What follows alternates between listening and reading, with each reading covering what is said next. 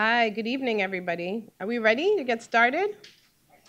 Yeah, and get started on time this evening. Hi, everyone. I think everyone in this room uh, knows me. I'm Michelle DePass, and I'm part of the, the cohort of uh, professors here at the New School that are uh, putting on and executing and designing the Race in the United States class. And welcome to uh, this evening's class. Uh, you are in for an incredible treat. Uh, your lecture tonight is going to is entitled "Our Brains on Race: Implicit Bias, Racial Anxiety, and Stereotype Threat." Uh, I am going to read you uh, most of the bio of Professor Rachel Godsil and then ad lib a little bit because I have been really fortunate to know Professor Godsil for uh, a long time, uh, several decades. And so um, Rachel Godsil is the Director of Research and co-founder of the Perception Institute. She collaborates with social scientists on empirical research to identify the efficacy of interventions to address implicit bias, racial anxiety, and stereotype threat. She regularly leads workshops and presentations addressing the role of bias and anxiety associated with race, ethnicity, religion, and gender, focusing on education, criminal justice, healthcare, and the workplace. Godsil is the lead author of the Perception Institute reports, including Pop Justice, Volume 3, Pop Culture, Perceptions, and Social Change, and The Science of Equality, Volume 1, addressing implicit bias, racial anxiety, and stereotype threat in education and healthcare.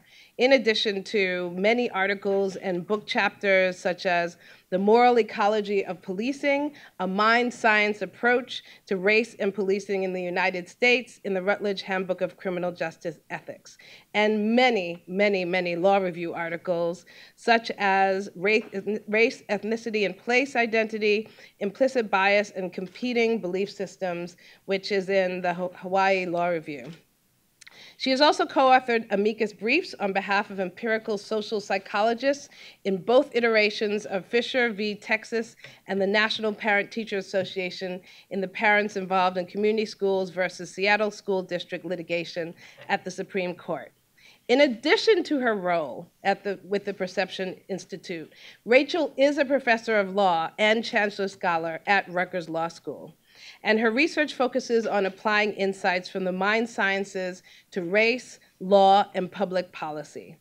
Her recent property work focuses on gentrification, the mortgage crisis, and eminent domain, as well as the intersection of race, poverty, and land use decisions. Rachel has served as the chair of the New York City Rent Guidelines Board in 2014 and 2015, not an easy position. After serving as the convener for President former President Obama's campaign's Urban and Metropolitan Policy Committee and an advisor to the Department of Housing and Urban Development Transition Team, Professor Godsil co-directed a report to HUD Secretary Shaun Donovan entitled Retooling HUD for a Catalytic Federal Government. During law school, Rachel served as the executive article editor of the Michigan Law Review, and after graduation, she clerked for John Walker Second Circuit Court of Appeals. She was an assistant U.S. attorney for the Southern District of New York, associate counsel of the NAACP Legal Defense and Educational Fund, focusing on environmental justice, as well as an associate with several law firms. So I am telling you, you are in for an incredible treat, somebody who has uh, previously was also a professor at Seton Hall Law. So really what you are going to be uh, experiencing tonight is uh, is the combination of uh, knowledge from a lot of different sectors, a lot of different places in society. And Professor Rachel Godsil is a phenomenal woman. She is, has been a lifelong friend to me, and her wisdom that she brings to the table as one of the best civil rights lawyers uh, and now social science researchers on perception and bias uh, is really amazing. And she has supported a lot of different nonprofit uh, people out there, a lot of different academic institutions, a lot of different governments. And uh, when you are struggling, I'll tell you, when you are struggling nonprofit director, you, like I was, uh, as the executive director of the, the New York City Environmental Justice Alliance, you, and you're dealing with race, class, and gender issues, you want to have a professional a warrior like Rachel Godsil by your side. So I am honored and thankful that she accepted Darrick Hamilton and Maya Wiley and my invitation to come and talk with you tonight. She will give, be giving you a lecture on uh, bias uh, for about an hour or so, and then we will be having questions and answers, and I really hope that we have a robust discussion. Welcome, Professor Rachel Godsil.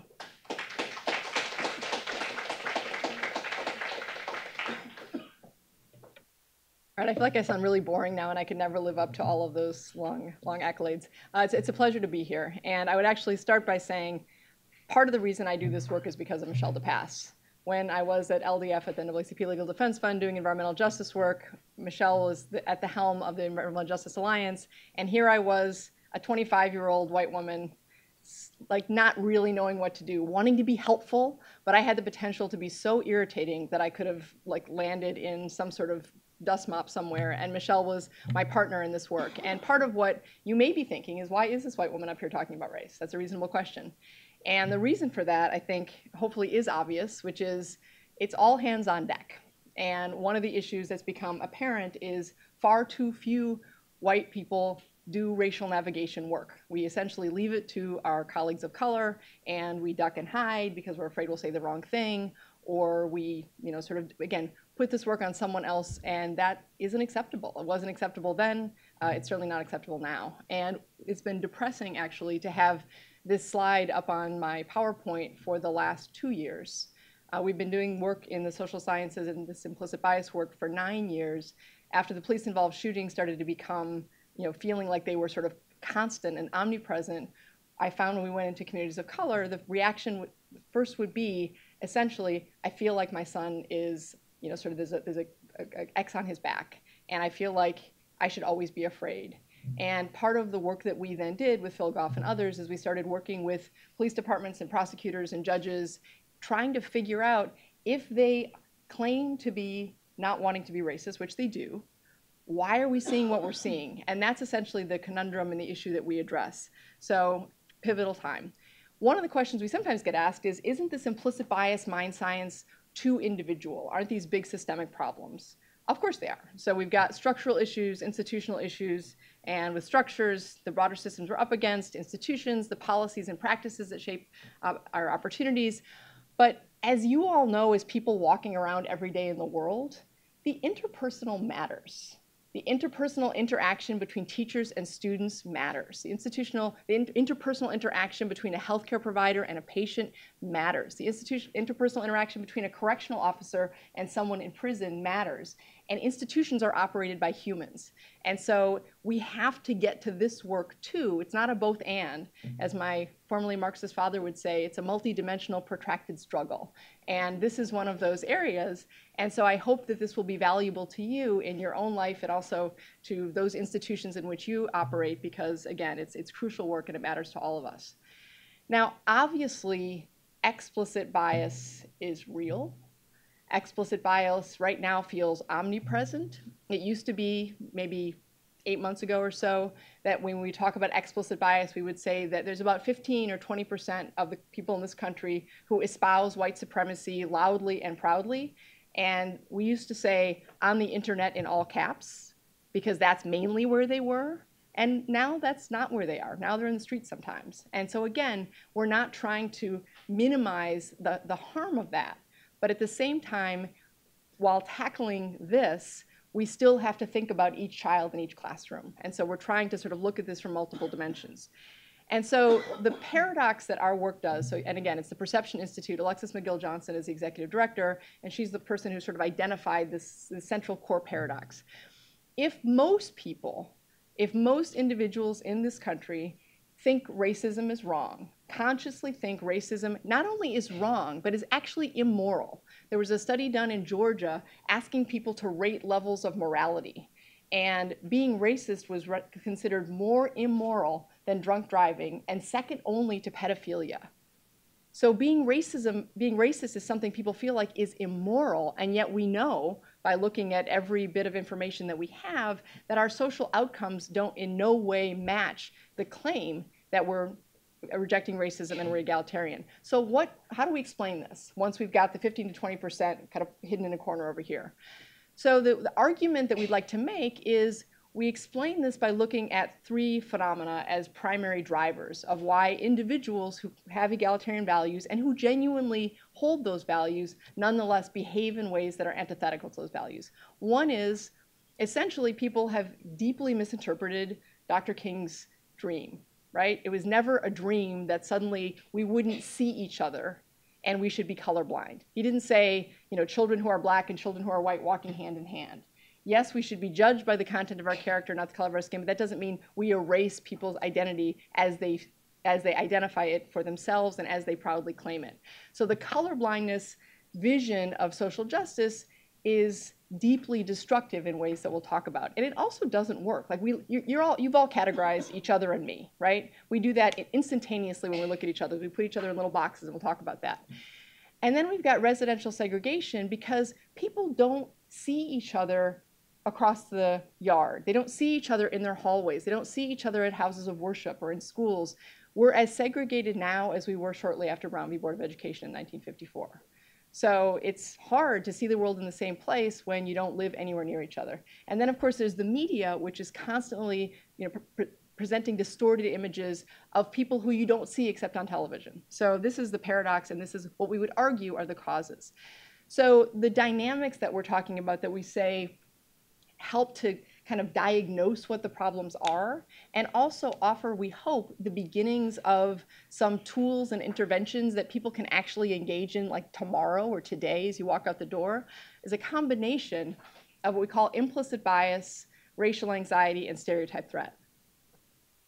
Now, I want to make one caveat, which is the racial anxiety we're talking about is not racial threat. Sometimes they're used interchangeably, but racial threat is when a group fears the loss of power and dominance. And we know that racial threat is, you know, sort of a buzz in the air right now because a lot of people who are white are worried about losing the position of seeming dominance in the country. And with the demographic shifts, that's triggering some, again, anxiety about losing power. That's not the racial anxiety we're talking about. We're talking about the racial anxiety people feel in an interpersonal way. But again, this is real, and there are other tools we need to, uh, you know, to engage and to work on to address this. So, implicit bias. It starts with the way our brains operate. Our brains essentially have, you know, sort of categorize everything we see, and we put them into categories, and that is what allows us to function. And that's, again, just the way our brains operate. And we're going to start with um, you know, understanding that schemas exist in our brain about people, and the schemas are not necessarily what we imagine them to be. So when you think of parents, consciously, you may not think of a same-sex couple. If your unconscious is sort of triggering you to think in the same way. So engineer, what comes to mind? You can think to your head and question, is it a woman? For me, until three weeks ago, an engineer in, I, without even realizing it, was actually male. And the way I actually became aware of this is uh, I went to UVA to their engineering school, and it was to you know, have a sort of student empowerment session in the morning and a faculty session in the afternoon. And I literally imagined all the students who would come in to talk about talk to us in our empowerment session to be male, and so, was actually surprised when you know half the group was female. And I suddenly realized to myself, this claim that I make when I do these lectures about engineers being male, that really is in my brain. And spending those three hours with these young women, learning what it was like to be walking into their computer, you know, computer science classes and to be kind of looked at disdainfully was very meaningful. Now, doctor's interesting because living in Brooklyn, living in New York, hopefully you have a broad schema when it comes to doctor. I know I certainly do. Um, but how many of you remember what happened on Delta Airlines a little while ago? So Delta Airlines, for those of you who don't recall, uh, there's a patient in distress, and as they always do, they rang the bell to say, "Is there any doctors in the, in the on the plane?" African American woman raised her hand, and the flight attendant walked over to her and said, "We need an actual doctor." Actual quotes. Looked that up several times, and this woman said, "I am an actual doctor. Can I see your credentials?" And as they're having this interchange, keep in mind the patient is still in distress. So a woman's being treated wildly disrespectfully and rudely. Patient is in distress. A white male walks by and says, I'm a doctor. Oh, thank you, doctor. So now, question is, if Delta fires said flight attendant, are they done? No, right? Is she a racist? Maybe, I don't know. Or is she any of us with the engineer? Again, I'm perfectly happy to say yes, but if delta's not done, what do we do? What we would argue you do is you come up with a protocol. So when the patient is in distress, someone raises their hand, you say, thank you so much, doctor. Can you show me your credentials so I can know what your level of expertise is? Because what if the white guy was Leonardo DiCaprio pretending to be a doctor? Anyone see that goofy movie? Are we going to send anyone over to do a tracheotomy? So again, it's not unreasonable to ask for someone's credentials, but obviously, so, the, the, sending the white guy over was as you know, sort of not troubling in the racial sense, but for this patient could have been. Uh, so this is sort of what this work is about: is figuring out how do we work with what we know people's schemas to be to produce behaviors that are, aren't consistent with those noxious schemas.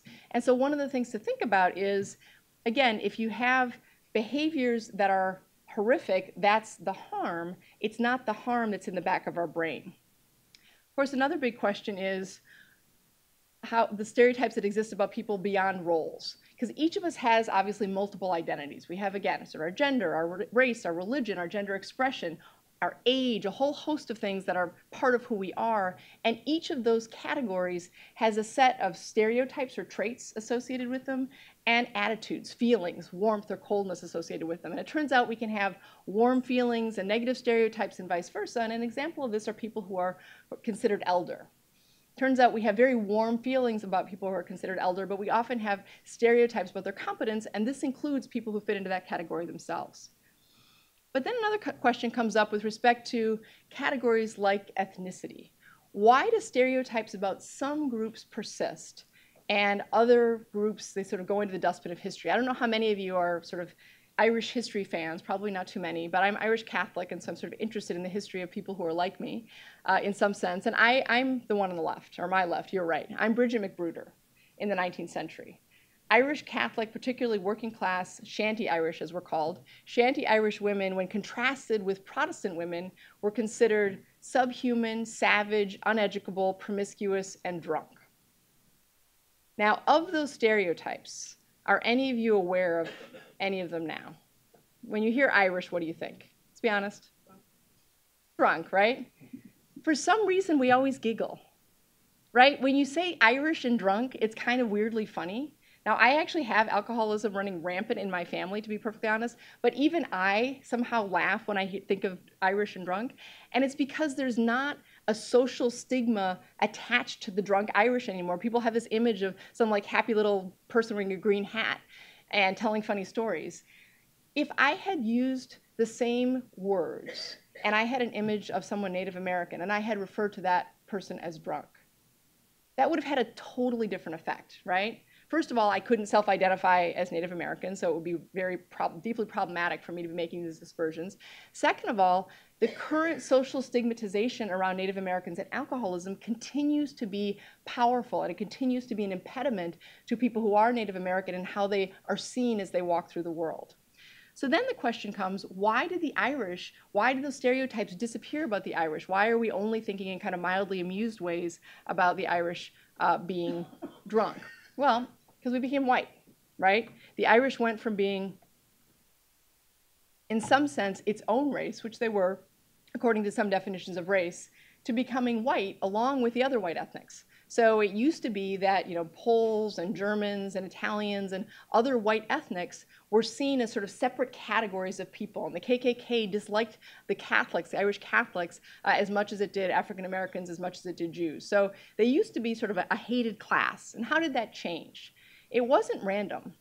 It changed because in post-World War II United States, the government handed out you know, enormous amounts of money, frankly, to those who were white and put enormous amounts of money into transportation systems that allowed all these people who suddenly were kind of given the ability to purchase a home. You had working class families suddenly purchasing homes to move out into those suburbs and create little white enclaves and literally put red lines around neighborhoods that had people of color in them.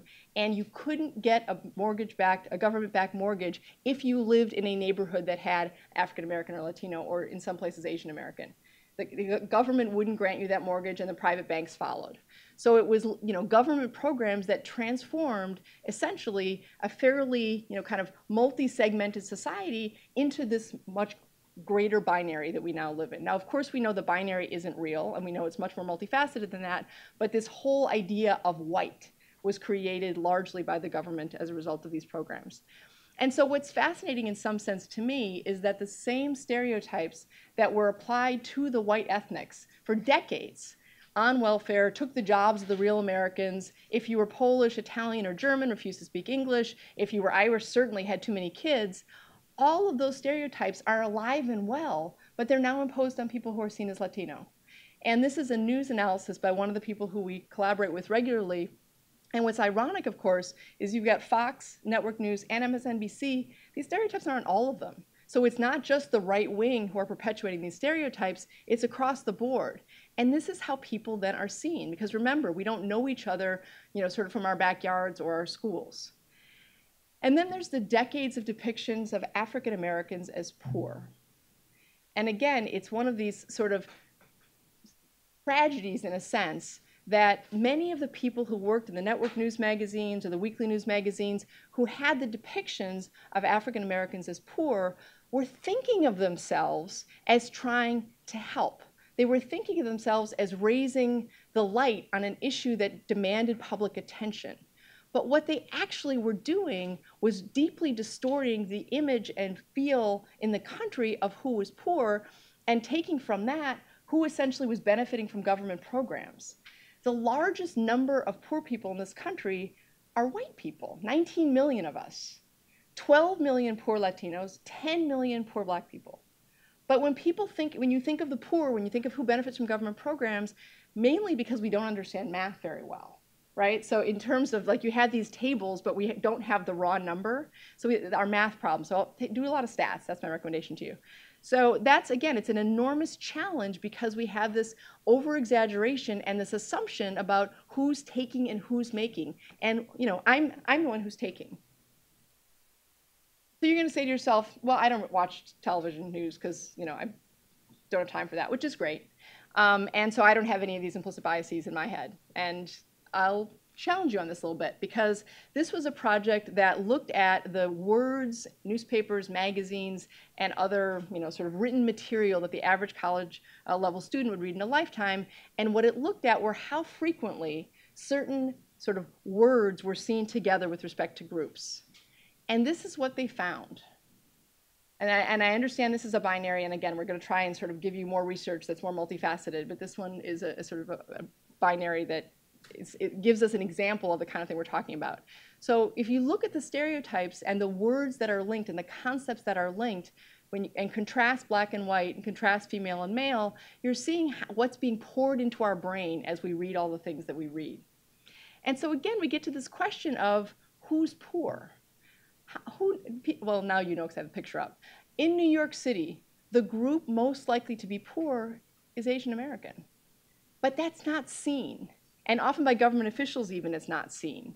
So often, again, people go without help because they're not seen, and we have this set of stereotypes about who Asian Americans are that belies a reality that they experience. And then, of course, we have this notion of gender. Those stereotypes that I showed you linked to gender, you know, sort of warm, passive, and, you know, distant, those are essentially stereotypes that see gender as white. If we look at most studies that are done that call themselves studies about gender in the social sciences, the subjects in those studies are almost invariably, you know, sort of 90% plus white women. And so what that means is, from a social science perspective, there's a great deal that isn't known about the stereotypes that women of color are experiencing. And it's also, again, it's just absurd to say this is a study about gender and only have one group. That's a study about white women. That's fine. But again, name what we're doing. And so these are sort of anecdotal, what people feel. If you're, you know, again, these are uh, that we're told from Asian American women seen as passive, Latina seen as attitudinal, for Black women seen as angry. And one thing that's distinct for African American women or Black women is if you're Black and dark skinned, race trumps gender. And so Black women often have the negative stereotypes that Black men are shouldering also imposed upon them. And these negative stereotypes have incredibly powerful effects. So people looking at identical sized images of a black and white man, and this is actually, you know, again, multiracial participants in the study, identical sized uh, black and white men judge the black men to be bigger, stronger, more muscular, and more capable of uh, causing harm than the identically sized white men. And the white participants in the study concluded that the police would be more justified in using force even if they were unarmed. That's a March 17, uh, March 13, 2017 study. Which brings us to this concept of implicit bias. Our brain's automatic, instant association of stereotypes and attitudes toward particular groups without our being consciously aware of it. And I say without our being consciously aware of it, but I want to be I want I want to be clear, knowing that we have implicit biases or automatic associations doesn't get rid of them. It's a beginning, but it doesn't make them go away once we know we have them. It just begins the work, hopefully. So how do we know that we have them? Well, there's the implicit association test, the IAT. Have, have any of you taken this? Okay, so a decent number of you. So the IAT can be found, please don't take it now because it'll hurt my feelings, but you can Google uh, IAT or Project Implicit, and there's a whole host of uh, sort of little exercises you can do that will allow you to see how quickly your brain can associate some groups with some images, and it gives you a sense of where your vulnerabilities are. It's not a DNA test, and it's actually been methodologically critiqued. Lawyers got really excited when the IAT came out, and we said, all right, we're going to have everybody take the IAT, and everybody who has bias, if you're a police officer, you're fired. If you're a teacher, you're fired. If you're a juror, you're knocked off the jury. If you're a judge, you're fired. If you're, you know, on and on and on. We'd have nobody left because literally there isn't a human being alive who doesn't have some implicit biases against some identity groups. And having implicit biases doesn't mean that we act on them. It's not an excuse. It's the beginning of understanding how our brains operate. So here's an example that's sort of interesting that both shows this sort of way implicit bias operates and also shows how it can have some, how, we can sort of work through something slightly differently. So uh, it used to be that orchestras had a very strong tendency to hire um, men, male uh, uh, musicians over female auditions. And of course, the people who were hiring thought that the men were just better. And someone suggested, well, why don't we put up a screen? And that will tell us whether or not we're hiring based upon something other than talent. So they put up a screen, and initially, there weren't that many changes in the percentage of women who were hired. And so that, of course, made the people who were doing the auditions feel very proud. But then someone noticed that for some uh, auditions, but not others, there was a little click, click, click sound before the audition. Anyone know what the click, click, click sound? Heels. And literally, that auditory cue of heels was enough to sort of change the way people were listening. So now orchestras literally make people take off their shoes or they'll put like a little rug because they want to prevent the auditory cues from affecting the way listen. And it's what's amazing is after doing this, they increased orchestral seats for females between 25 and 46%. So that's a remarkable one. Now this is healthcare is probably the area that's been most studied and that's in part, or in significant part, because in 2007 there was a study of medical residents who were given, you know, sort of patient uh, instruments. They'd taken the race IAT, the race uh, implicit association test, a few weeks before. Um, but this was weeks after, so they didn't have any notion that these were connected. And they were asked to diagnose the particular cardiac conditions and then to recommend treatment. And what they found in this 2007 uh, study was that those with higher levels of implicit bias against African Americans were able to diagnose correctly across group, but they didn't recommend the same treatment. They were significantly less likely to recommend the gold standard treatment. So that completely, as it should, freaked everybody out. And so there's been an enormous amount of work done in medicine around this issue. And what's very positive is in recent studies, 2014, 2016 studies, the link between implicit bias and treatment recommendations when the protocol is clear, when there's an obvious treatment, is, has been broken. Now, where medicine still has a long way to go is on more subjective determinations like pain medication. So there was a recent study of children going to the ER, 4,000 children going to the emergency room for appendicitis. And what they were measuring was whether or not white and black children were apt to get the same level of pain medication. And they found that white children reporting severe pain were three times more likely to receive the appropriate opiate pain medication than black children. Do doctors wake up in the morning not want, you know, wanting to cause pain? I don't think so. But this is what happens. And again, the argument is this has happened because of um, uh, implicit associations. So I know these are the creepiest looking people alive. I acknowledge that. Um, so you would think that, and I actually kind of think the white one's a little creepier, to be honest myself.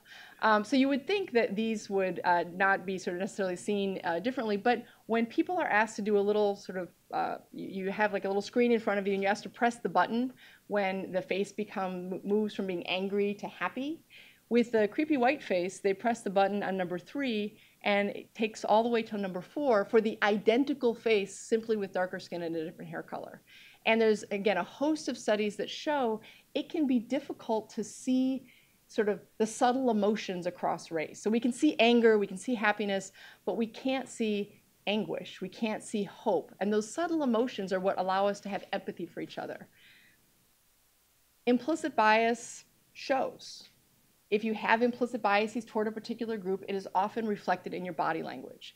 And of course, we all know at some level that we tend to think of body language as more true than people's words.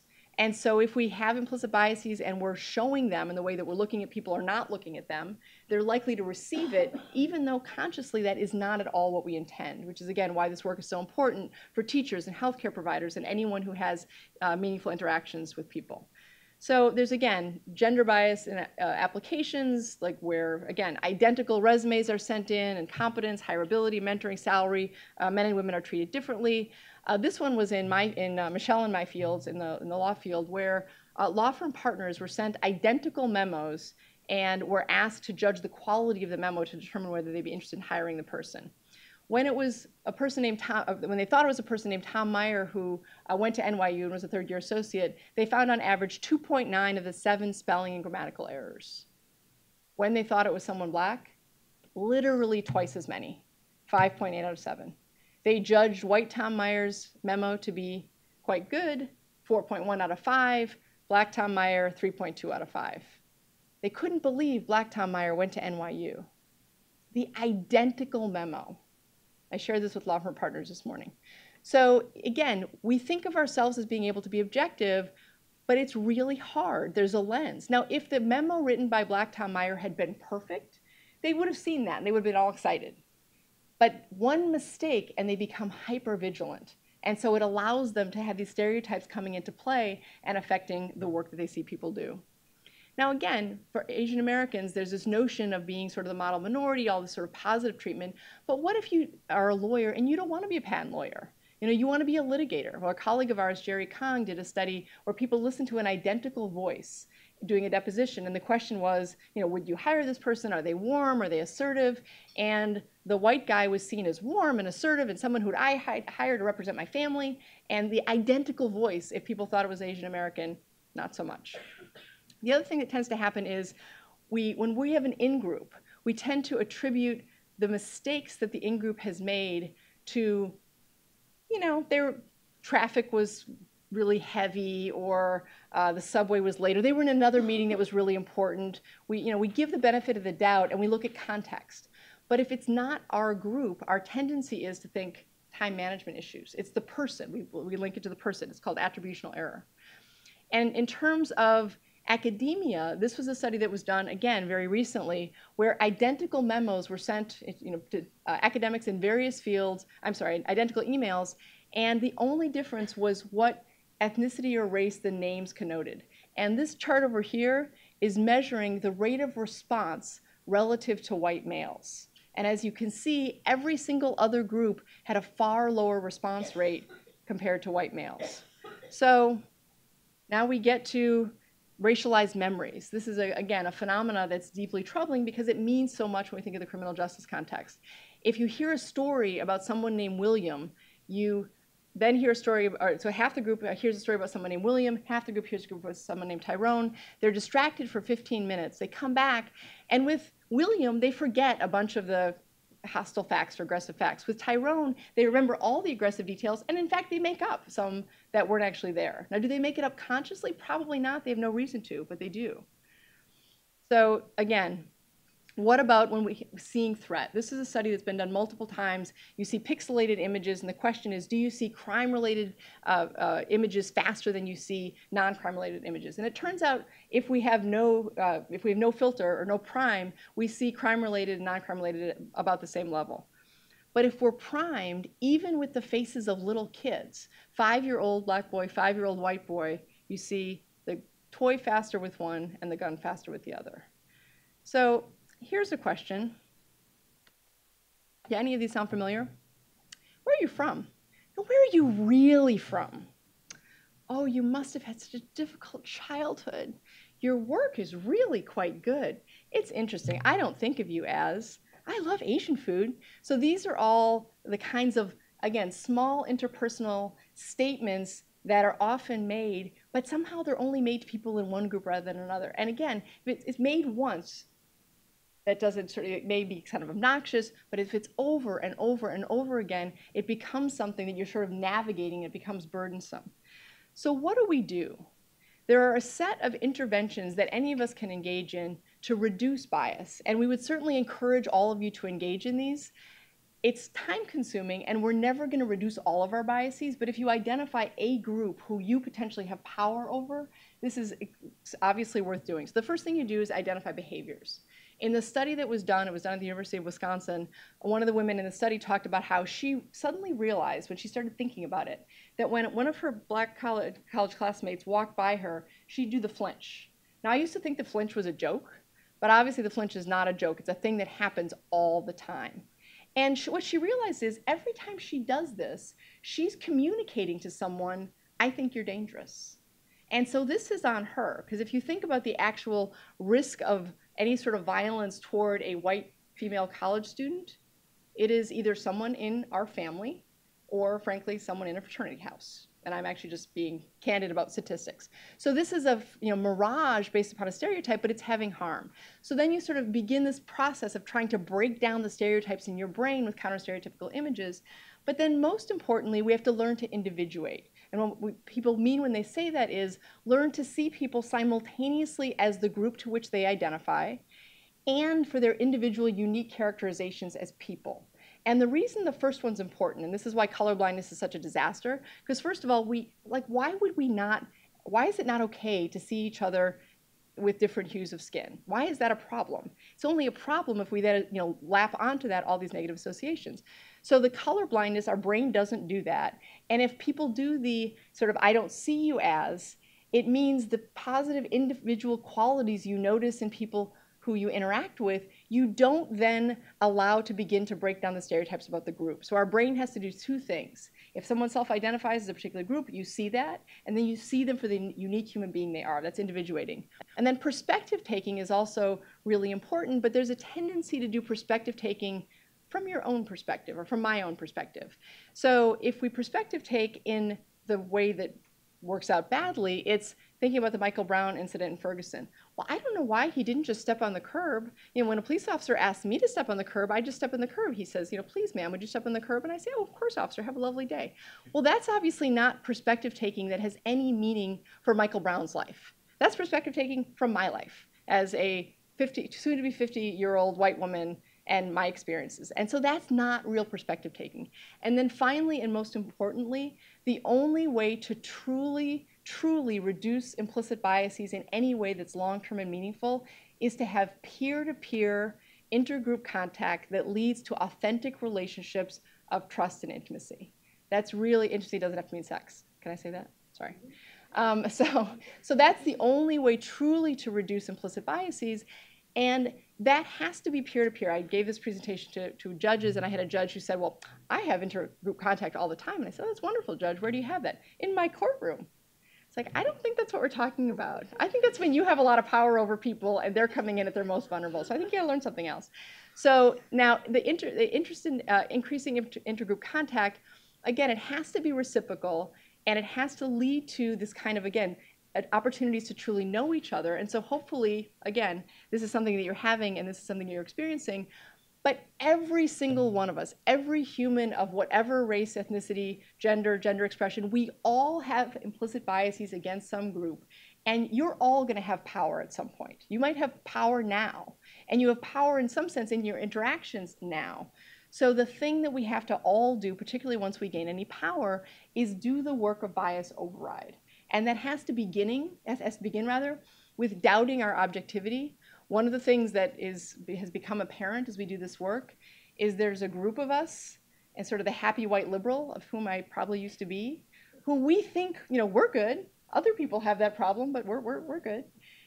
If we don't doubt our objectivity, we have the potential to do harm because it's presuming that we're all good that leads us to make decisions that have effect. So again, if you've got power, you want to count and see what you're doing. You want to sort of think about the criteria you're using for making decisions and being mindful about uh, interaction dynamics. So all this is work that we have to do, but the problem is that I don't know how you're all feeling right now, but often hearing about all this utterly depressing, you know, sort of research can leave people both depressed and anxious.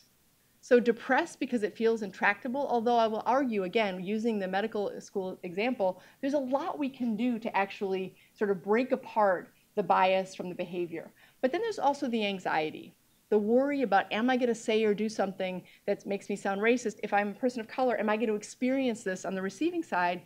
And that can actually be extraordinarily harmful as well. So we actually don't talk about implicit bias without talking about racial anxiety because, again, if we're thinking about the importance of the human interaction, which is part of, obviously part of what we think is crucial, we have to understand what happens. Um, so this racial anxiety, again, there's an interesting study where people were given propranolol, which I guess is like a beta blocker, and then asked to take that implicit association test. And it actually completely eliminated implicit bias. So my colleague Alexa said we should put like Xanax in the water or something. So we, so okay, it could be it could be a way to work, but I think we're probably not going to have that happen. Fluoride was enough. So how do we experience racial anxiety? It's again experienced differently depending upon how you're situated. So for a person of color, the worry or the anxiety or the or the the concern is experiencing discrimination, hostile treatment, or invalidation, and that's obviously born from experience. But when that anxiety comes into the interaction, it's seen by then the white person who is worried, you know, we worry that we're going to say or do something that's going to make us sound racist. And remember, we think racists are immoral. So the anxiety on both sides can be very high. And what the anxiety often looks like is people sort of you know, not giving, having eye contact, standing a little further away, having colder body language, avoiding the interaction altogether, or then there's just being awkward. So the you know, sort of example that we gave this summer was when a white person walks up to a person of color they don't know very well. I saw hidden figures. And I saw Get Out too. And you have this expression on your face like, right? I'm good, right? And I did that example because my colleague Alexis had had that happen to her four times in, uh, in South, in Alabama rather. And the person who invited me, an African American doctor, came up to me and she was just cracking up. And she said her supervisor was sitting next to her and he'd literally done that exact thing the day before with the same ridiculous expression on his face. So he was sitting there obviously feeling ridiculous. And it's a again, it's an attempt to connect, but it's an attempt to connect that shows the anxiety. The person is so worried about not saying something wrong that they have, again, sort of the, the race and concern in the front of their head. So this is sort of the work we have to move past. And then there's something that the social scientists refer to as the stress of racial disappointment. So within progressive spaces, there's the hope that all of this will be different, that we'll actually, as individuals, be able to interact with, again, that simultaneous recognition of people's identities as they self identify and their unique human characteristics. And there's a hope that there's not going to be the kind of, again, ridiculous things that are said or the invalidation or the kinds of interactions that occur. And if we talk the talk but don't walk the walk, that can actually be emotionally more taxing than if someone's already braced themselves for something that's going to happen. And so it makes it really important in progressive spaces for every, you know, so again, for us to work through all of this. So this is an interesting body of work done by social psychologists who were looking at the, the experiences of people of color navigating predominantly white institutions and largely college campuses. And they were interested in whether race affected what people were looking for in their interactions. And they found uh, that it did. So for most of the white students, the goal in a cross-race interaction was to be liked. So the question was kind of which would which is more important to be liked or respected, and essentially most of the white students presumed that we'd be respected, and so we wanted to be liked. And for the Black and Latino students, there was not a presumption of respect, and so that that respect had to come first.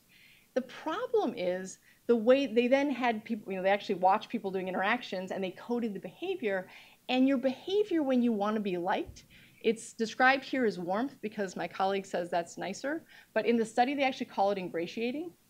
So it's kind of again, it's like it's over, it's overdone, and that's what I used to do until Michelle told me I should stop and hit me in the face. Um, so again, it's it's kind of that overdone way that doesn't seem real or genuine, and it also can seem disrespectful because if it's again, it's often using someone's first name before you're invited to, or just again engaging in ways that doesn't seem to recognize them as you know sort of a peer intellectual as opposed to a person who you know is going to talk about basketball, becoming very stereotypical. So of course, then for the Black and Latino students, the respect that they were seeking was the body language was seriousness, and that the red the white students read as hostility and not liking me. So the interaction, of course, doesn't go well. So they also included Asian Americans in the study, and what was really interesting in these elite institutions, the Asian American students did presume that they would be respected. So the goal then was to be liked. Of course, then there's a stereotype, if you're Asian American, of not being likable, so the work can feel harder. So there's racial navigation to be done, but it's done from a somewhat different perspective. Now, this issue comes up in the healthcare context as well, because again, if you think about the interaction between healthcare providers and patients, whether or not you're seen as, eh, whether or not the patient feels respected is crucial to actually receiving good care. It's crucial. And this is one of the elements of healthcare that continues to be a challenge. So again, there was an end of life study recently that showed that there was less, you know, kind of eye contact and less interaction between doctors and patients if they were cross race another sort of, and I'm going to promise I'll end these studies pretty soon, but uh, but this one's this one's really interesting, and again, a little counterintuitive perhaps. So the question is, do we think of, do we experience ambiguous discrimination or blatant discrimination differently depending upon our race or ethnicity? And this this study at least suggests that we do. So this was again college students who were given scenarios to read, either of a fair hiring situation where the qualified person gets the job, a blatantly uh, uh, uh, uh, biased hiring situation where the person who has less qualified, uh, who's less qualified, who's white, gets the job, and the person who's in the hiring position says the other person belonged to too many minority organizations. So it was really clear. And then the third was ambiguous. Less qualified person, according to the criteria, who's white, gets the job. The explanation is, well, he took an economics class. So then we look at the cognitive interference that occurs after they read the scenarios. And the cognitive interference is measured by you know, kind of staying on task. And as you can see, the control, the blue, they're both pretty much the same. There's no statistical significance between the white students and the black students. When there's blatant discrimination, for the white students, their cognitive interference is high. There's a ton of noise in their brain. Because again, for many of us who are white, we presume a just world. We think things are supposed to be fair. And so it's very cognitively, you know, sort of it's, it's dissonance. We experience a lot of dissonance when something happens that's blatantly unfair. For the black students, it's not as though they didn't think it was wrong. Of course they did. But they had a schema, a place in their brain to understand it. And so it, it was clearly a thing that just fit in their brain and they allowed them to stay on task. The ambiguous discrimination is another area where we have a big difference. For the white students, that explanation, we took an economics class. Even though it wasn't a criteria, our brains do this really strong default to fairness because we assume good intentions. And so for them, it was not discrimination. It was, you know, well, you took an economics class, that was fine. For the black students, by contrast, but wait a minute, economics wasn't one of the criteria. So this seems problematic. It seems like race is at play. And then there's another mm-hmm. question. If I say something, will it be believed? So the ambiguous discrimination produces far more cognitive interference. And if we think about the kind of interactions we tend to experience in, you know, outside of deeply uh, racist places, they're often ambiguous. And what this then means is if you're a person of color, you're sort of in this place of wondering, is it race or isn't it? And that's taxing cognitively. So what can be done? Well, there's an enormous amount that institutions can do to create sort of a place where identity isn't salient in the way that we've described, where it doesn't feel like if you're a person of color, you're somehow not fitting into the idea of you know, who a real student is. And that's work that the institutions have to do. So it's recognizing and again, sort of celebrating people and their multi multiplicitous selves.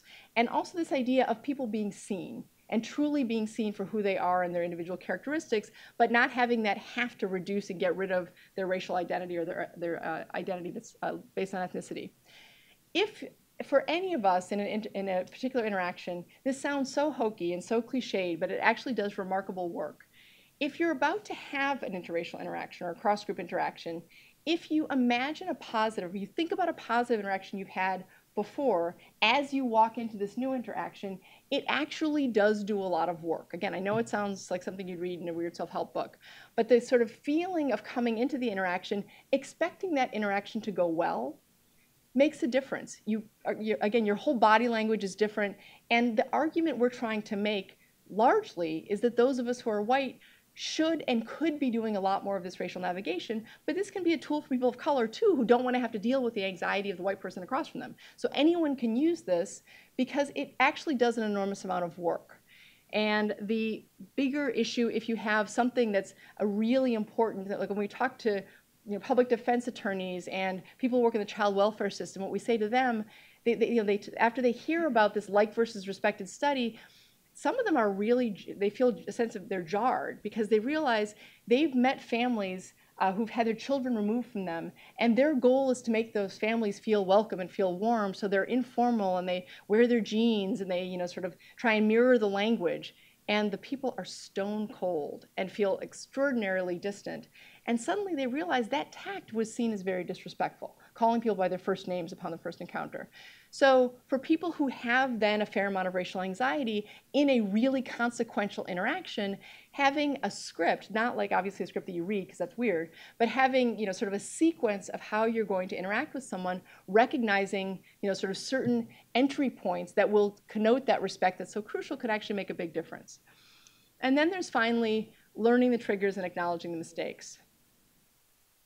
So I have to say, I was sort of surprised. I've been on the road doing this for a couple of years now, at how frequently, apparently, people who look like me touch people's hair. We seem to have real boundary issues. So again, not a thing, not a thing we should do. Don't touch people's hair. It's like their hair, it's their body. And the other thing that we did recently is we actually did a study of the implicit and or explicit bias against black women wearing their hair in nat natural textured styles. And we found, as we I hypothesized, that there was a fair amount of implicit bias. What we were surprised about was that there was actually quite a bit of explicit bias. But the good news on this is there are, you know, sort of online natural hair communities where everyone's bias level was far lower. So it really is possible. Again, there is actually hope for all of this to get uh, better in serious ways. So the final concept, and I, am going to take my seven minutes, and I really hope that I get to hear from you and I get to hear your voices because I'm looking at faces and I'm trying to figure out what you're thinking, so I can't wait. Um, the final concept is, again, is a really important one because it helps us understand what we may have experienced and not have a name for. So I'm going to describe my own experience with it. Uh, again, Michelle gave you my whole bio in a way that made me really embarrassed, and I think like threw me off for the first 10 minutes because I felt so silly. Um, but after, you know, but after law school, I you know, I was in New York and I clerked for this judge and I had this job at this small law firm that was doing really great land use work and environmental justice work, which is why I went there. It's actually when I met Michelle. And most of the partners I got along with pretty well and felt pretty comfortable with. Um, but I come from an Irish, uh, as I said, I'm Irish Catholic and also working class. Dad was a roofer. My mom spent time as a sheet metal worker. So in New York, I was a little bit weird. Like I didn't know some of the norms of behavior that other people knew. And that was fine most of the time. But at that law firm, there was one partner who was literally the son of a senator and descended from people from the Mayflower. He wore bow ties unironically. He knew when to wear his sh- white shoes. And I felt when he looked at me like he thought I hadn't washed that day. Like he just had this disdainful expression on his face.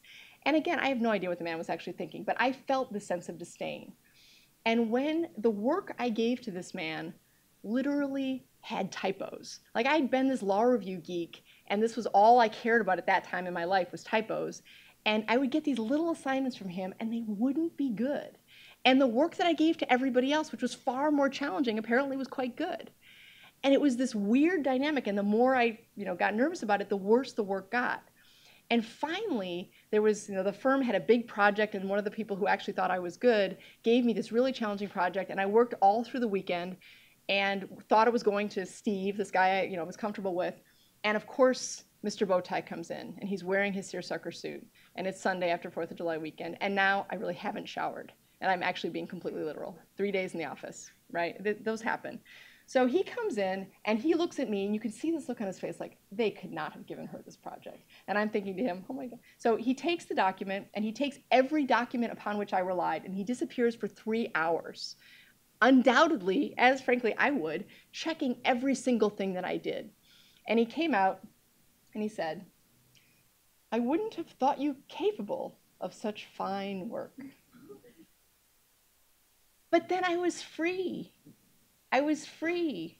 And my work actually became okay, but I was experiencing stereotype threat. My class identity was triggered, even though, again, it probably was known largely to me. But when a negative stereotype is triggered about a part of your identity that is serious to you, and particularly if it's triggered in a context that you care about, and I cared so much about doing a good job as a lawyer, if that's triggered, it can really have powerful effects. It's not like a choking, it's not just being nervous in the traditional way, it's cognitively diverting resources from the task at hand. It's taking your brain's resources and directing it toward managing this anxiety. Your heart rate increases, your blood pressure rises. It's a real thing.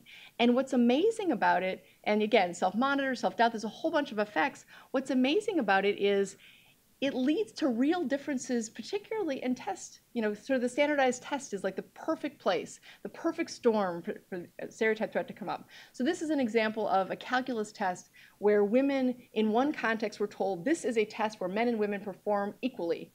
And needless to say, they did. Another group weren't told anything, and you can see how different their performance was. This can also happen to white men. This is not something that's simple, you know, that's just for those of us who are you know, potentially seen as a non-dominant group. For white men who were at Stanford, math majors, cared a lot, were being contrasted to, who thought they were being contrasted to Asian American men, they performed worse on their tests. So it's a really powerful phenomena that, again, some of you may have experienced, and we'll uh, talk a little bit about what we can do about it. And there's a final sort of version of this that can have real harm and that's again this worry about seeming racist. What has been found is that, and this is a study of teachers, middle school teachers were sent um, intentionally badly written essays. This was kind of the opposite of the other one, intentionally badly written essays. And what they found was middle school teachers gave different levels of feedback to black and Latino and white students. The white student would get more critical feedback, the black and Latino would get kind of, you know, generic praise. But there was one exception to that the teachers who were in schools where they felt like they were supported and they felt confident in their environment gave black students the same level of feedback. They still gave Latino students different levels of feedback, suggesting two different phenomena. For the Latino students, it was implicit bias. It was at lower expectations because of some sort of presumption about English language capacity, perhaps. For the African American students, it was their worry about seeming racist that they didn't have when they were in an institution where they felt supported. So again, for all of us, this is something that can be actually navigated. And the way it can be navigated, you know, it's there's work that we can do as individuals. Then what has to happen ideally is sort of those who are in power will take the steps to do, is, you know, in an odd sort of way what that partner did with me when he finally told me I did fine work, is actually see us and see the work that we can do and share it with us. So the way this works is, the way this, this study worked is, is uh, groups of students were told to write essays, and they were asked to give pictures, and they were told if it was a really good essay, it would be published in a magazine. One group of students were just sent back very critical feedback. The second group were, were uh, they had shared with them critical feedback plus kind of generic phrase. The third group had what we call wise feedback, which was an invocation of high expectations. I expect the best from you. We're only going to look for the best.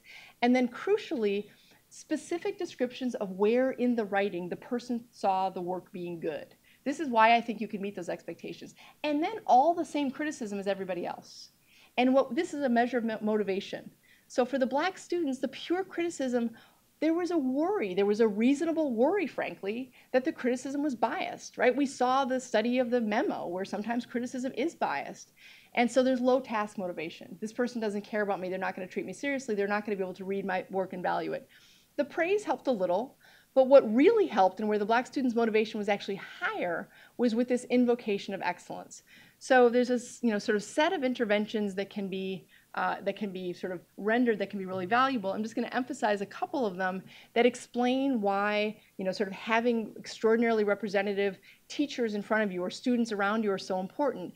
If for each of our different identities, there are peer experts or there are experts, you know, sort of in front of the class, then our identity isn't salient in that domain. It makes a big difference.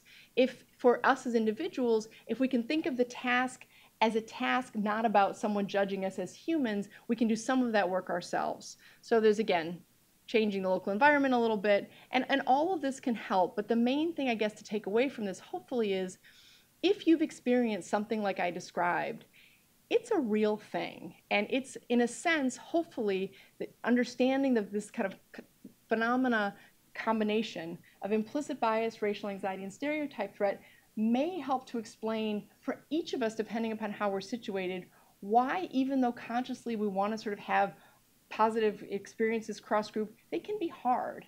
But the hope is in engaging in these strategies, you can sort of move past the difficulty and again have the intergroup relations that are the ultimate way to reduce bias. So I'm really looking forward to questions, challenges, feedback, and thank you for listening so attentively.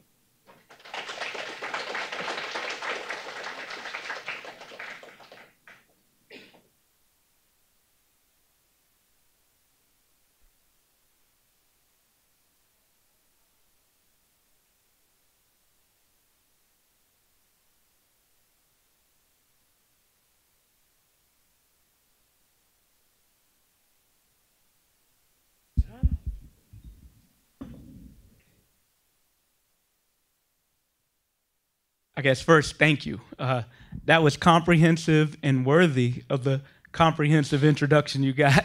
So you, you covered a lot of ground and it was insightful. So in, in all earnest, thank you. Um, so I have uh, basically three comments slash questions that may push back a little bit on cer- certain concepts. Uh, the first is how the Irish became white. France Winddance Twine and Jonathan Warren, they have a different perspective where they argue that it's the presence of blacks and distancing from blacks that allowed whites that allowed Irish and other groups to become white. So it was it was kind of juxtaposed in, in a sense of um, we'll take an intermediary position at some point in time with the hopes of integration eventually for political purposes, which is why the white dominant class would want them in in there to, to increase their political num- numeracy, but at the expense of blacks. That, that that's explicit. And I guess that might have some insights on will democracy necessarily save us going forward? Um, I guess the, the other two points, and I'll be brief. Uh, one is related to uh, now we're in a paradigm where whites are starting to perceive blacks as not as uh, as more affluent than they actually are. I guess there's that, that new study, and, and that might even relate to the Case-Deaton mortality stu- studies, where whites are concerned about their relative position in a way that they perceive blacks as encroaching upon their perhaps privileged domain. And then the last thing is some of these examples we can, it seems evident that it's implicit bias. For example, when you do the test and you look at reaction times and you, you prime people with certain images. Um, but for others, how do we know it's just not plain old explicit bias? How do, you know, how do we, how can we really make a distinction between the law firm reading when they know the memo is written by a black person versus a white person that they simply are, especially in a context of we know that bigotry is associated with, with moral ineptitude. So it, it might be a way of disguising oneself by coming up with other narratives when in fact they are explicit bigots. And I, would say in, in economic sense, I think of it when we label things as statistical discrimination, how do we know it's just not plain old discrimination sometimes? Thank you. So I think the for the first question, I think what we said was actually completely in concordance. So the reason, you know, why did the government suddenly pour all this money into working class white people? Like again, there had been working class Irish and poor Irish people in this country for hundreds of years, and they were again sort of if you look at South Boston, for example, they were in, you know, sort of living in squalor. Why did that suddenly change? And I think the argument for why it changed is exactly the argument you just made, which is suddenly you had uh, this, you know, essentially Roosevelt made a new deal that was, you know, sort of a pact with the devil, where they were, you know, sort of the, the idea of government expanding was accepted so long as it literally excluded African Americans from it. So this explains why Social Security didn't go to people who were engaging in agricultural work or doing domestic work, which again, actually the Irish did a lot of domestic work at that time too, but the availability of other government benefits made a difference. So I think what we're talking, what, you know, the sort of arguments that they would make would be exactly consistent with the arguments that, you know, sort of, I guess we would make in terms of the, the, the way that suddenly you had a group uh, expand from sort of white white being WASP, white being white Protestants, like my, my partner friend, to white being anyone who has a certain phenotype. So I think they're actually ex- exactly alike. And I think you raise a, a really powerful and important and challenging point uh, in your sort of concern that demography isn't going to change the power dynamics in our country. And certainly John Powell, who's the chair of our board and who does a lot of enormous amount of work in this space, has an, has concern that what we're going to continue to see is anti-black racism and essentially sort of something like a, a Brazilian kind of color line that's going to descend upon us because the group that can be sort of treated as white will just expand. And I think that's the work that all of us have to do together to prevent from happening because obviously to sort of keep these lines uh, present will kind of rot the core of our country in the way that we're seeing now.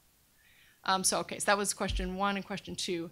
Uh, with respect to how do we know, so, so in some instances, the way the test is constructed, as you said, you know, there again, and there are a bunch of other studies that we can talk about too. You know, the reason for it is just reaction time, and so it's it's a it's a it's a unconscious processes. In other instances, it's true, for example, that the field study involving doctors and children in the emergency room, it could be that those doctors are just bigots. And you're right, it could be that the law firm partners are just bigots. I think the argument that would suggest that to a significant degree it's likely to be implicit bias would be for the law firm, frankly, there's an economic imperative right now. There's there's corporations that are pushing law firms to have more diverse representation, and it's actually been it's it's a real economic um, demand. And so, law firms, according to their self interest, actually would be far better off if they had much higher percentages of associates of color. They're getting pushed hard appropriately by certain of their clients to have more diverse you know sort of again both gender and race and ethnicity so it's a it's an economic imperative as well as the law firm partners certainly in the way that they self-describe in the way that they sort of you know put themselves into the world being fair is important to them now does that mean they don't have any bias? You know who knows?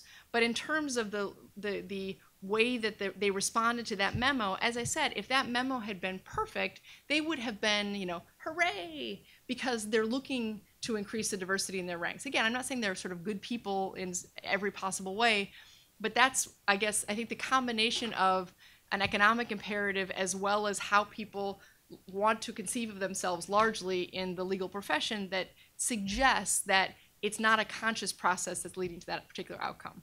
And I will tell you that sort of once that study was made known, law firms are now doing a ton of implicit bias trainings trying to you know kind of end this phenomena. The worry that we would say is just having you know one experience where you learn about implicit bias isn't going to do anything about that phenomena. There's got to be a lot more work that's done that includes structural work and includes you know again having peer experts and, and truly diversifying. So that, that's what we would argue. Again, I can't prove that I'm right, but I think there's there's reason to believe that these unconscious processes are at work, to, at least for some percentage or some significant percentage of the people involved.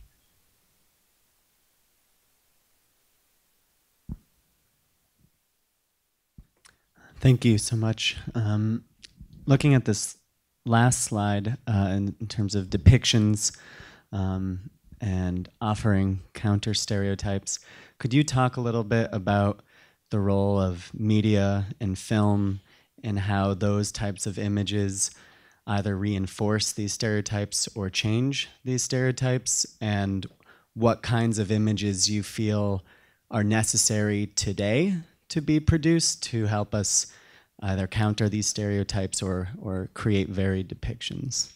So thank you. It's a great question. And actually, one of my questions to Michelle is, should we include some of the narrative work that we're doing?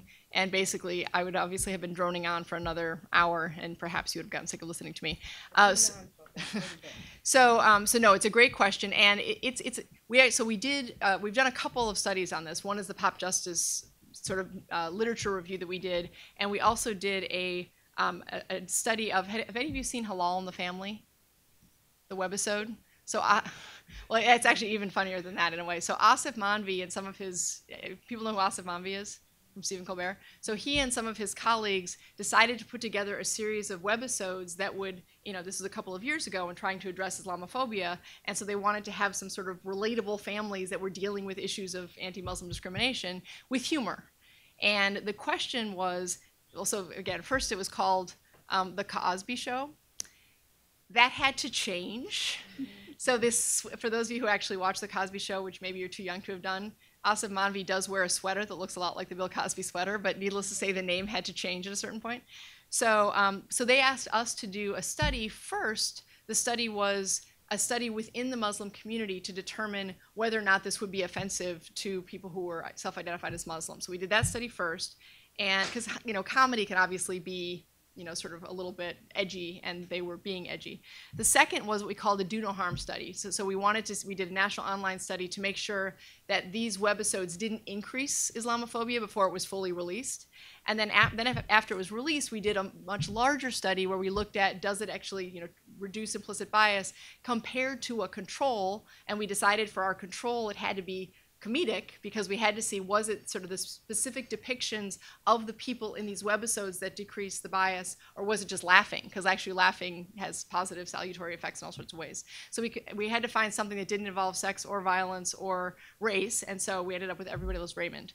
So we compared it to the everybody loves raymond and found it did decrease bias both implicit and explicit, as well as, and this is really crucial, it increased concern about discrimination against Muslims. Just watching these little webisodes had, at least for that moment, that effect. Now, whether it's, it's probably not long term, but there's actually what we concluded after doing the, the, the literature survey is one of the things that's a risk is exceptionalizing right? Like there've always been, you know, there's always been a few, Sidney Poitier, for example, there's always been a few actors of color who are sort of lionized, but if you just have a few, it's the exception.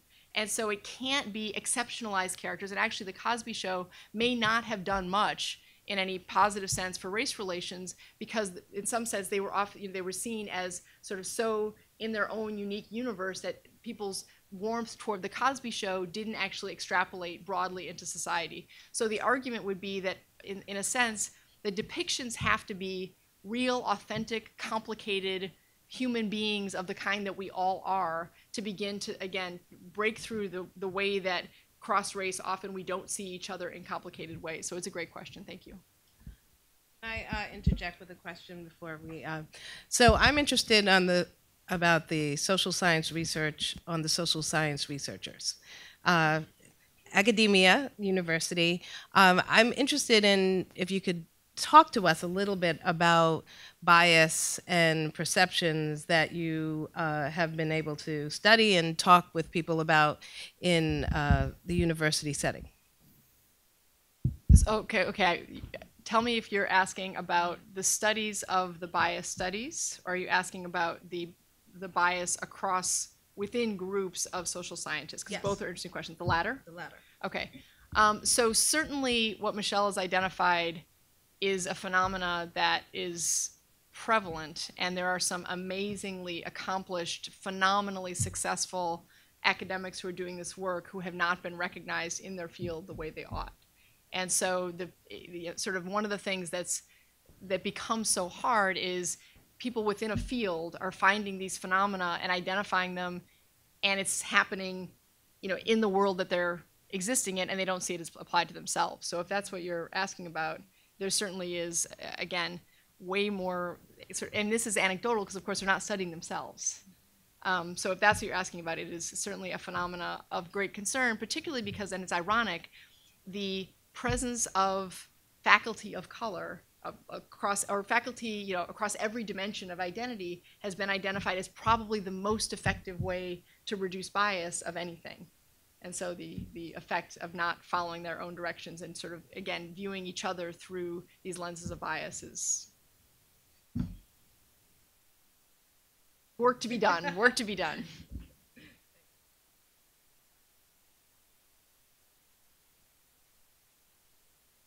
Oh, sorry.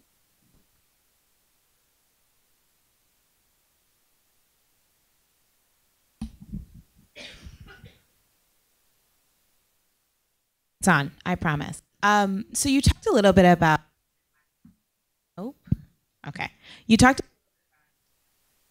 Um, you talked a little bit about anti-blackness.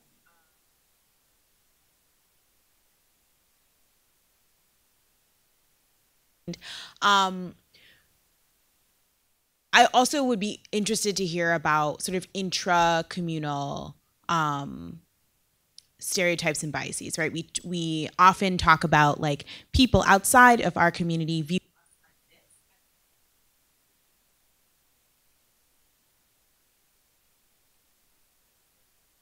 peers, right? From people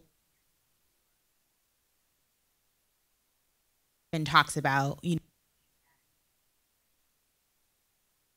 up in the high because he was thing, but his identity was something else, right? And so, what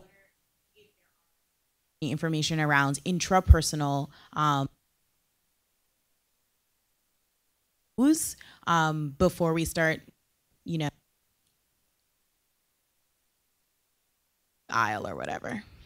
Could you repeat the question? Just So, so the question, and I'm so sorry that the mic was going on and off because the, the question is really important. The question was, what what does the research say about the bias that works within communities of color, within and specifically thinking about anti-black racism, the way that skin tone and Afrocentricity features and other ways of how people are identified can affect how people are treated within again the group who are socially identified as black. It's they're actually there's a lot of research that I'm sure you know about um, about the incredible power and the incredible uh, actually difference in kind that dark-skinned uh, that that skin tone and Afrocentricity features make, for example, in the criminal justice context. Now, what is so, so there's there were two studies that are really um, again beyond uh, you know, sh- shockingly awful. Uh, one was in Florida. There, there was uh, Jen- Jennifer Eberhardt, who's done a lot of this work. She was a MacArthur Genius uh, Award winner. She's at Stanford. She did a. Uh, she heard that a study was done of sentencing in Florida, and they didn't actually find much in the way of race disparities in sentences, and she was suspicious of the finding.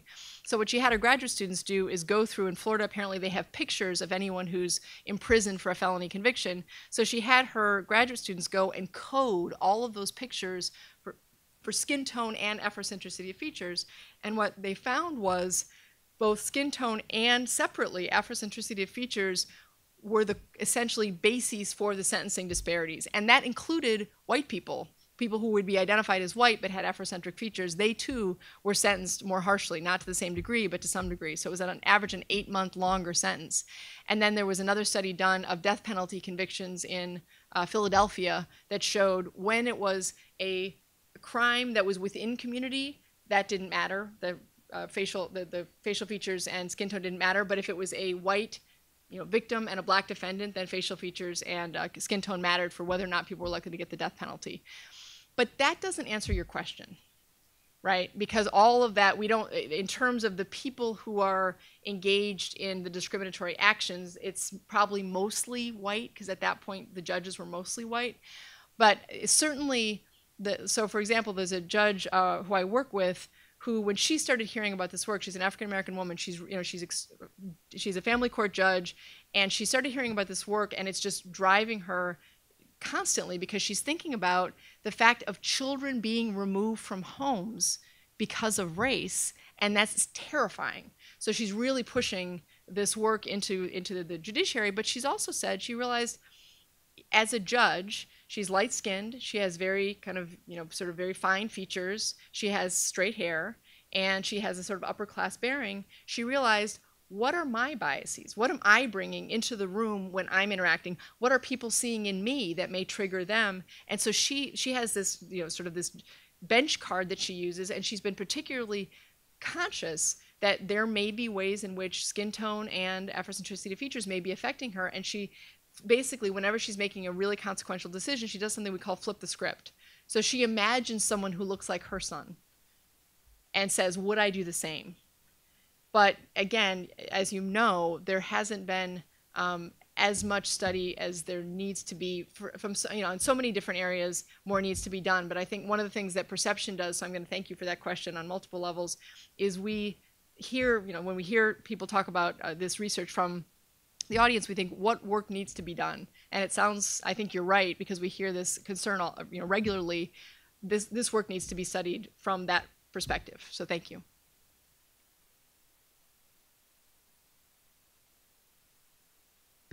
Okay, I'll talk up. I'll talk up. So you put a suggestion for us when we're going to cross interact to have some positive thoughts beforehand.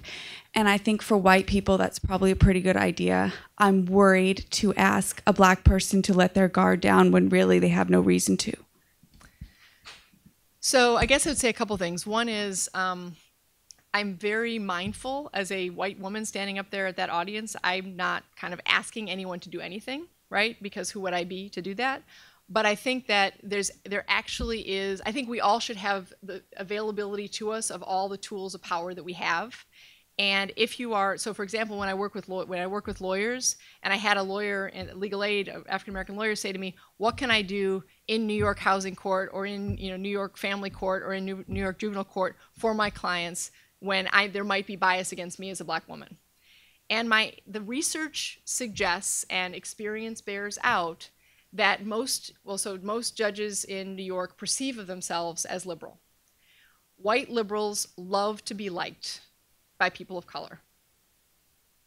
So what I said to her is, I'm not telling you to do this. Like, who would I be to, you know, push this navigation on you? But if you want a tool, we often become rather pathetic in our response because it's you know, again we feel like more moral human beings so i guess i think that we all need to have available to us every tool that we can put in our toolbox and so knowing that there's some power to being the person who comes in as a person of color to someone white if that person has power over you or power over someone you care about or power over a situation to use i mean frankly i saw this woman use this to enormous success because it's power. It's a form of power. And I know it's not institutional power and it's not structural power, but in that individual moment, if that individual, you know, sort of interaction matters, I think it's I think I have to share what the science says will happen and people can choose to use it for, you know, use it or not, if that's fair. As I uh, as I said our first class when I walk into a, a room, I have to own every piece of who I am. And I think the, the tool that you just expressed, Rachel, is a tool that I can use as the identity of a African American person. There are other tools that I need to use as a woman or as a Caribbean American or as uh, somebody that has, you know, very distinct black African features or has, uh, you know, natural hair. So um, it's just the tools in the toolbox, I think, are very important. Thank you very much. Um, I um, happen to have, um, this was very inspiring because I have two classrooms that are full of, of very anxious students this semester. And um, that was really um, something that I'm just going to pack in my backpack right now and, and bring to the classroom uh, right starting, you know, the next class that's going to, to happen uh, in two days. But um, the question that I have is actually uh, different. I would like to uh, hear more a little bit about these these protocols and how what's the process of up with them. When you say protocols, referring to the studies that we engage in, or something else? Uh, well, the protocols as, as change that is being brought as a result to, of of the awareness of uh, of biases. So it's a great question, and unfortunately, many of the, uh, like I said, there's a lot of implicit bias training that's going on that's not being studied at all, which I think is appalling.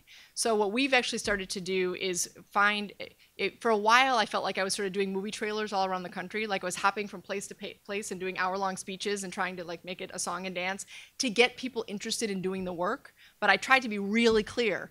You know, don't check the box. You know, you're not done. And so the next step is then to bring uh, do a systems diagnostic to figure out from an institutional perspective what are the areas of real risk what are the what, what are the protocols that you can come up with that will prevent against the worst things from happening? What are the groups of people of power doing to prevent the harm from accruing?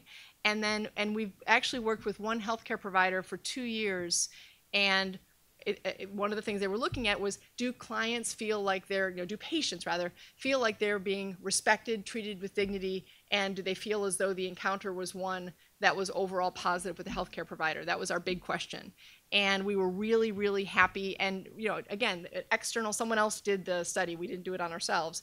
They found that right after the the like all day workshops and then the sort of follow-up work they found you know sort of there, there was an uptick in the people of color who came to those clinics feeling as though they were treated with fairness and respect and again a sense of dignity. And then they did another uh, look at it six months later and they found the results still held so that was the first kind of study of whether this can make any difference we've got uh, another project with two different school districts that's just about to start and we're also working with some criminal justice stakeholders so we're looking now to do the kind of what will actually follow, what will make a difference in institutional settings that matter.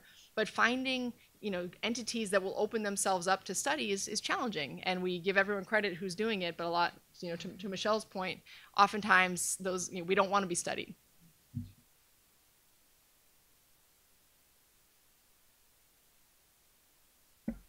So, all right.